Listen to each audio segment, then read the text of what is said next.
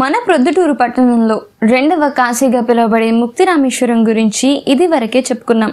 మీరు గనక ఇంకా వీడియోని చూడనట్లయితే తక్షణమే పైన కనిపిస్తున్న ఐకార్డ్ పైన క్లిక్ చేసి ఆ కథనాన్ని పూర్తిగా చూడగలరు.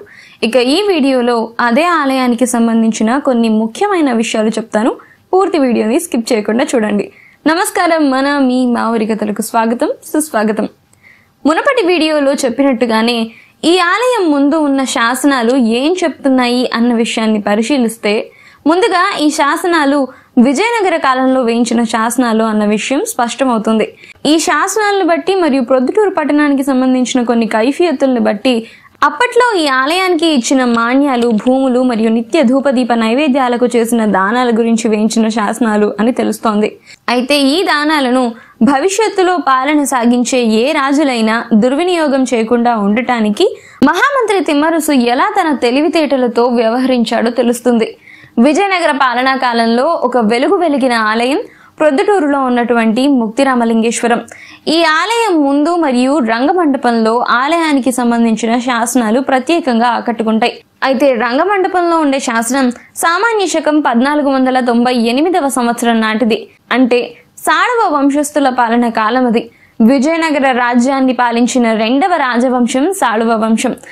ఇమ్మడి నరసింహరాయలు రాజ్యాన్ని పాలిస్తున్న ఆ సమయంలో ఇతనికి కేవలం పది పదకొండు సంవత్సరాల వయసుండటం వల్ల బాలుడైనందువల్ల ఇతని తరపున తుళువ నరసనాయకుడు పాలన సాగించేవాడు. అయితే ఈ నరసనాయకుడు ఎవరనుకున్నారు? స్వయంగా శ్రీకృష్ణదేవరాయల తండ్రి.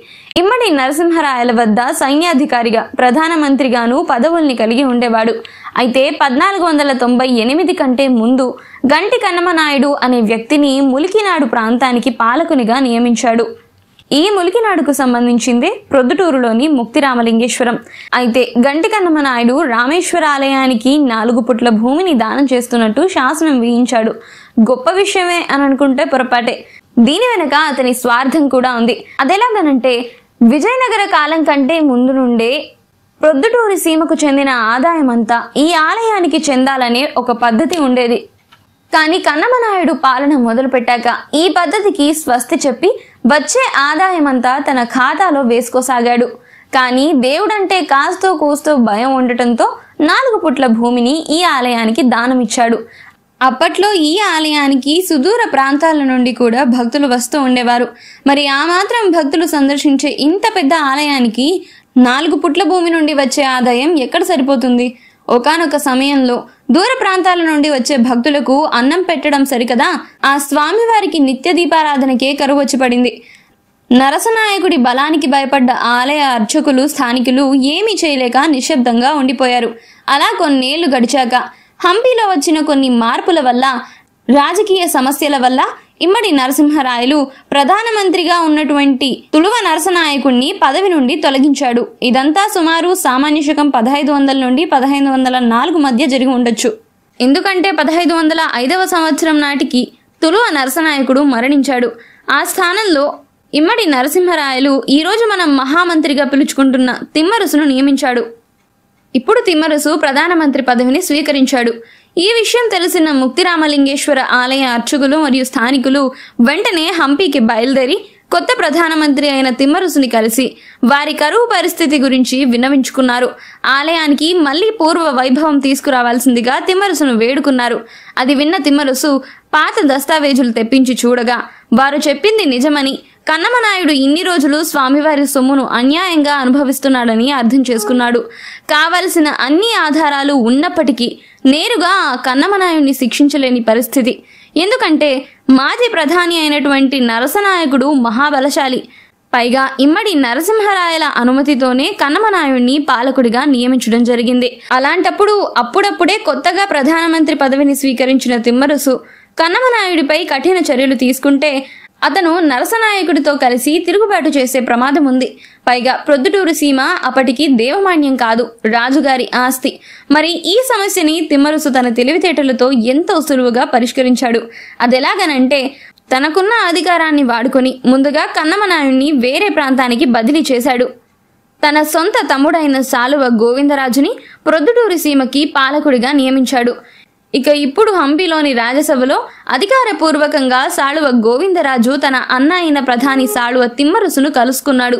కానీ ఆ సభలో వారిద్దరూ అన్నదమ్ముల్లా కాకుండా అధికారుల్లా వ్యవహరించారు.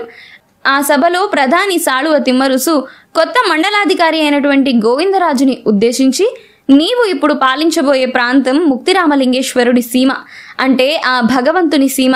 స్వయంగా ఆ భగవంతుడి సీమను పాలించే అవకాశం నీకు దక్కినందుకు ఇది నీ అదృష్టంగాను పూర్వజన్మ సుకృతంగాను భావించి ధర్మబద్ధంగా పాలన సాగించాలని కోరుకుంటున్నాను అని అన్నాడు. తిమ్మరసు మాటల్లోని అంతరార్థాన్ని గుర్తించిన గోవిందరాజు ధర్మబద్ధంగానే పాలన కొనసాగిస్తానని అన్నగారికి మాటిచ్చి ప్రొద్దుటూరికి బయలుదేరతాడు. ప్రొద్దుటూరుకి రాగానే తన అధికారంతో ఆ సీమకు వచ్చే ఆదాయం అంతా ముక్తిరామలింగేశ్వర ఆలయానికి చెందేటట్టుగా ధారాదత్తం చేశాడు. ఈ సందర్భంగా తాను ఒక శాసనం వేయించాడు. అందులో ముఖ్యంగా ప్రొద్దుటూరు సీమకు వచ్చే ఆదాయమంతా శ్రీ ముక్తిరామలింగేశ్వర ఆలయానికి చెందుతుందని ఆ ఆదాయమంతా స్వామివారికి నిత్య ధూపదీప నైవేద్యాలకు అంగరంగ వైభవాలకు ఆలయానికి సంబంధించిన మరే ఇతర కట్టడాలకైనా ఉపయోగించడానికి మాత్రమే వాడటం జరుగుతుందని అందుకై గ్రామకట్నం సుంకం మాన్యాలు అన్ని కలుపుకొని సర్వం ఆ రామయ్య తండ్రికే చెందుతాయని ఒకవేళ ఈ నియమాన్ని భవిష్యత్తులో ఎవరైనా తప్పితే వారు గంగానది ఒడ్డున గోహత్య బ్రాహ్మణ హత్య చేసిన పాపాల్ని మూట కట్టుకుంటారని వారణాసిలో తమ తల్లిదండ్రులను చంపిన దోషాన పోతారని ధర్మశాసనాన్ని వేయించాడు. ఒక శాసనం వెనుక ఇంత కథ ఉంటుందా అనిపిస్తుంది కదా? ఏదేమైనా సాడువ తిమ్మరసు తన తెలివితేటలతో ముక్తిరామలింగేశ్వర ఆలయానికి మళ్ళీ పూర్వ వైభవం వచ్చేలాగా చేశాడు. మరి ఇప్పుడు ముక్తిరామలింగేశ్వర ఆలయ వైభవం ఎలా ఉందో ప్రొద్దుటూరు వాసులే చెప్పాలి మరి. దీనిపై మీ అభిప్రాయాన్ని కమెంట్ చేయండి. ఈ వీడియో నచ్చితే లైక్ చేసి మీరింకా ఈ ఛానల్ని కనుక సబ్స్క్రైబ్ చేసుకున్నట్లయితే వెంటనే సబ్స్క్రైబ్ చేసుకుని పక్కనే ఉన్న బెల్ ఐకాన్ పై క్లిక్ చేయండి.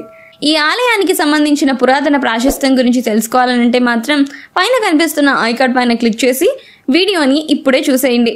ఇలాంటి మరొక ఆసక్తికరమైన వీడియోతో మళ్ళీ మీ ముందుంటాను. అంతవరకు సెలవా మరి?